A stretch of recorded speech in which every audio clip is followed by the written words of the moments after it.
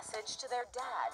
Joshua Buteau is in the Navy and was just deployed on the USS Carl Vinson for a tour that won't bring him home until the summertime, according to his wife Brittany.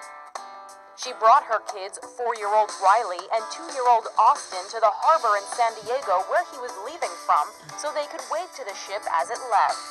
As they were yelling their goodbyes, police officer James Weaver saw them and offered some help, letting them use his patrol car's PA system.